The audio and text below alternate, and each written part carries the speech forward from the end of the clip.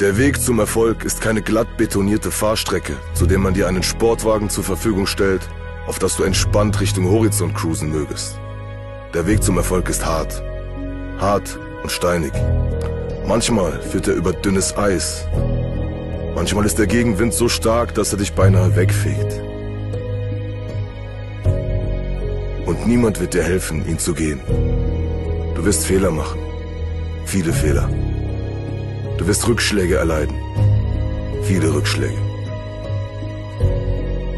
Manchmal wirst du so am Boden sein, dass du dir wünschst, lieber niemals geboren worden zu sein.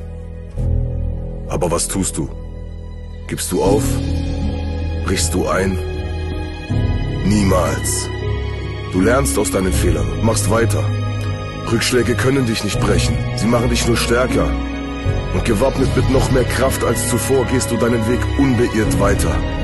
Immer weiter, immer weiter Richtung Spitze. Egal, was deine Voraussetzungen sind, wenn du auf die Welt kommst, welche Karten dir gegeben wurden, ob dir ein Bein fehlt, ob du 1,50 bist, ob du keine Eltern hast, alles scheißegal. Das heißt, keine Ausreden, keine Entschuldigungen. Der Gewinn am Ende ist nicht der mit den besten Ausreden, sondern der trotzdem gemacht hat. Auch du, gerade du, die das siehst jetzt hier. Du kommst aus irgendeinem Dorf vielleicht.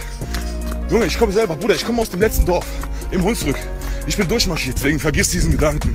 Ja, ich bin ein kleiner Fisch in diesem Ozean von tausend Fischen. Du bist der Auserwählte, genau du. Bist sind die anderen besser als du oder was? Nein, es gibt keine Hindernisse.